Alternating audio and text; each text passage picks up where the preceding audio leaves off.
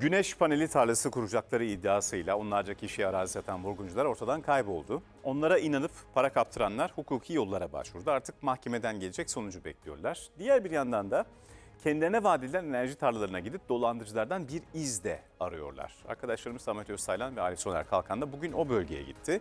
Bulgaristan sınırındaki arazilerin güneşi değil rüzgarlı bölgede olması dikkat çekici elbette.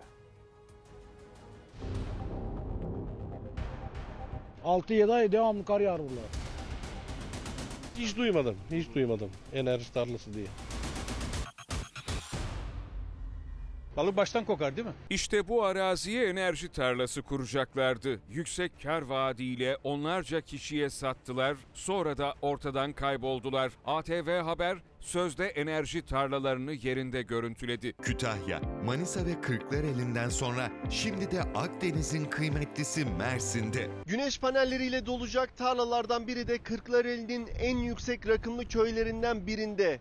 Ahmetler köyüne yapılacağı iddia edilmişti ve buradan pek çok kişi arazi almıştı. Burası tam 762 rakımlı ve burada güneşin etkisinden çok rüzgarın etkisi var. Panelin kurulacağı iddia edilen köy güneş görmek bir yana devamlı yoğun rüzgarın etkisinde. Burası rüzgar, paneline daha uygun. Burası 6 ay yaz 6 ay kış. Kar altında kalır ve yazık olur. Rüzgara bak burada. İşte burası o enerji tarlalarından biri. Normalde bu tarlanın tamamen güneş panelleriyle dolu olması ve elektrik üretiyor olması gerekiyordu. Ancak biz buraya kadar geldik. Önünde sadece bir tabela, içinde bir konteyner ve sadece çalılar var.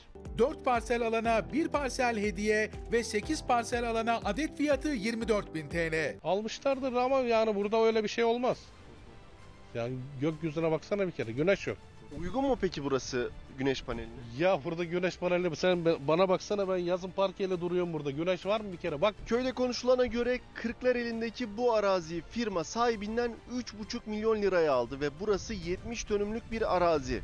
Ve yaptığı kampanyalarda 25 metrekaresini 25 bin liradan satıyordu. Bu da bir dönüm arazinin 1 milyon lira yaptığı anlamına geliyor. İşte bu 70 dönümlük arazi mağdurlara toplam 70 milyon liraya satıldığı anlamına geliyor. bir sene önce biri almış 70-75 dönüm civarında burası. Bölgede ne bir tabela ne bir çalışma var. Tüm bu iddialardan köylülerin de hiç haberi olmamış. Bu numarayı aradım bir defa ben buradan.